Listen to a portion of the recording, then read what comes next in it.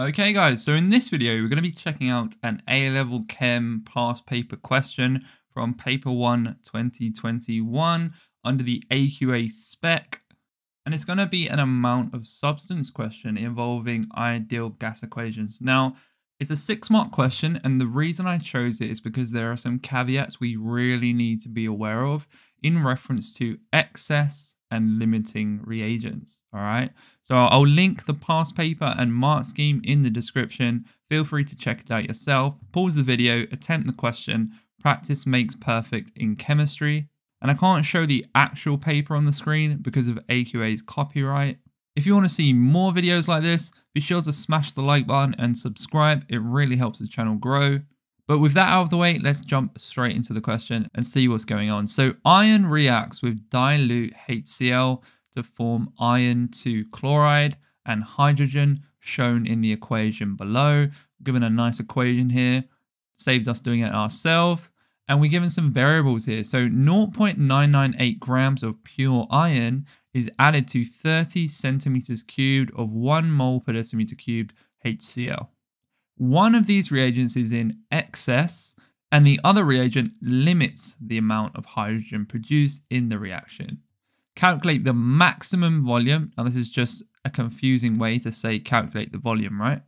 In meters cubed, so that's our unit of hydrogen gas produced at 30 degrees C, 100 kilopascals. Give your answer to 3 sig figs. In your answer, you should identify the limiting reagent in the reaction. All right, so this is really important to understand the differences between excess and limiting reagents and how we calculate it. So as I said, pause the video.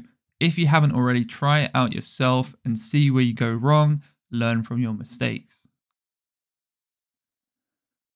So with all calculation questions, Step one, start with the moles. Okay, just do an absolute brain dump on the page and get your equations down. So mole equation number one, N equals CV. Mole equation number two, N equals M over MR. We may use these in some capacity. Not too sure. I'm just going to chuck them on the page. Next one is because it's given us all of our ideal gas variables here, and we know that the hydrogen is a gas. We're going to chuck our ideal gas equation on the page. PV equals nRT, right? That's our equations done. Now we're going to pick one of these mole equations and that's where we're going to start. So up here, we're given the volume and concentration of HCl, hydrochloric acid. So that's exactly where I'm going to start. Moles of HCl equals, concentration is 1 multiplied by our volume, which is 30 centimeters cubed here. So we have to times that by 10 to the minus 3, exactly the same thing as dividing by a 1,000 in order to convert it to decimeters cubed. The reason for that is because this concentration is in amounts per decimeter cubed volume. So that's the reason we have to do that. Don't really need your calculator here. You're just going to times this by 1. So the answer is going to be 30 times 10 to the minus 3. Okay, or in other words, if you don't like standard form, you can do it as 0.03. Okay. Either way is completely fine. Next up then is the moles of iron. So if you notice here, we use this equation to begin with. Now we don't have a volume and we don't have a concentration of iron. So we're going to have to use this equation right here. That's exactly what I'm going to do. Moles of the pure iron equals, so we're going to do our mass here, which is given in the question, 0.998, divided by our molar mass, you can find this in your periodic table, or if you've done enough questions like me, you know it's 55.8, okay? Put that in your calculator, and you're going to get an answer of 0.017885, okay? And then dot, dot, dot. Um, and this is moles. So we've worked out the moles. What is step two, okay? They say here one of these reagents is in excess and the other is limiting, right? So how do we work out what the excess and limiting reagents are? Okay, so let's write out some notes here. You obviously don't have to write this out in your exam. I'm just writing out to explain it to you guys. So the limiting reagent is used up first in the reaction, okay? So how do we know which reagent or reactant is used up first? It's going to be the one with the lower moles. Okay, now don't get tricked out here and think, okay, I'm just going to look at my moles of iron and my moles of HCl. This one's lower, therefore it's clearly the limiting reagent. Uh-uh, okay, that is a big fat red cross. You don't want to take that approach. You want to follow this approach, okay? So first thing I'm going to do here is I'm going to look at our equation that AQA kindly gave us right up here and think to myself, what are the molar ratios between these two reactants? And it's simply the mole coefficient, right? So here we have an iron with nothing in front of it. So that's a 1 mole. And then here HCl has got a nice 2. So we know that the ratio that they react in, the true ratio is 1 to 2. Okay?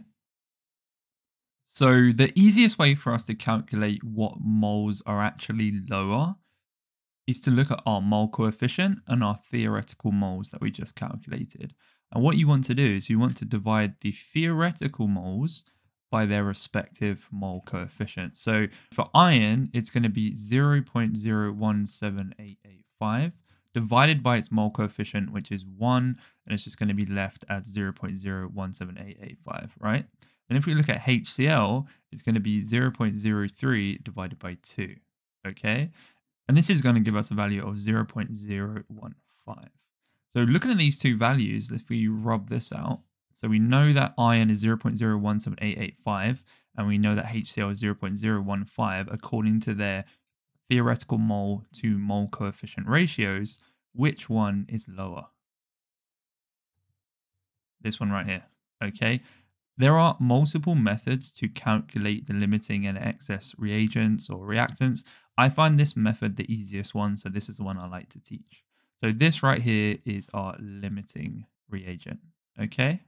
So the HCl is going to be used up first in the reaction, and it's going to limit the amount of products. Okay, so keep that in mind. So why is this important then? It's really, really important because we're if we're working out the moles of hydrogen gas that are produced, we have to use the limiting reagent to calculate that product, right? Because you're going to get moles of reactants used up and you're going to get the moles of products, okay? So in this case then, we would use our moles of HCl as the limiting reagent and we would not be able to use our moles of iron because this is an excess, it will give us the incorrect answer for our product moles. Hopefully that makes sense. So just remember that if you're revising, if you're practicing these questions, when you're working out the moles of the products, you always want to use the limiting reagents, okay? And what, what do I mean by use the limiting reagents? I mean use it to work out the next mole ratio. So for example, we've done the reactant mole ratios, but you also want to take note of the products. So here we have a 1 to 2, and then that carries on to a 1 to 1. Okay, so what we can do here is if we're using our moles of HCl as our limiting reagent or limiting reactant, this is going to have a 2 to 1 ratio with hydrogen. Okay, hopefully that makes sense. So I'm going to rub this out quickly and we're going to write down what are our moles of hydrogen because we're going to need that for the next stage of the question all right? Because they're asking us to calculate the volume of hydrogen gas. So we're going to have to rearrange this expression to make volume the subject. And this is going to involve having the moles being calculated for hydrogen. Let's do that right now then. So we're going to have moles of hydrogen gas equals the limiting reagent 0.03 divided by 2 because it's in a 2 to 1 ratio. Hopefully that makes sense to you guys. So that would be 0.015 mole. Okay. Now all we have to do is plug that into our PV equals nRT expression to calculate the volume. So if we want to rearrange this then, it's going to become V equals, and all we have to do is divide both sides by P, so take it to the other side. So it's going to be V equals nRT divided by P. Okay, not too complicated here. Hopefully you guys are fine with that. So next thing you really, really have to pay attention to within the ideal gas calculations is standard units, okay? What are the units involved in each of these variables? So pressure, first and foremost, we're gonna have pascals, whereas we're given kilopascals, so we're gonna have to convert that in some way. Volume is asking us for meters cubed. Thankfully, volume, the unit is also meters cubed, so we don't have to convert anything there. Moles, easy peasy, that's moles. R is given to us, so we don't have to convert anything. T, capital T, is going to be Kelvin. All right, we want it in Kelvin, and they've given it to us in degrees Celsius. So I'm going to make a note of that here. T equals 30. And then all we have to do to convert degrees Celsius into Kelvin, do you remember what we have to do? Plus 273. All right, so that's going to equal 303 Kelvin. So we've got all our values. All we have to do here is plug it into the equation. Not too shabby. So volume of H2 gas equals our moles that we just calculated, 0.015, multiplied by our R, our gas constant, 8.31, multiplied by temperature, 303, all divided by our pressure, which I said we have to put it as pascals. So you're just going to times it by a thousand there, so 100,000 pascals. If you put that in your calculator then, we're going to get an answer of 3.776895 times 10 to the minus 4. Okay, and this is going to be meters cubed. So is that our final answer? No, it's not. Remember they said to give it to three significant figures, and that's exactly what we're going to do here. It's going to become 3.78 if you round it to three sig figs, still times 10 to the minus 4 and that is our final answer right there. So where do our marks come from here? Going through the mark scheme real quick. This is going to be one mark. This is going to be a second mark.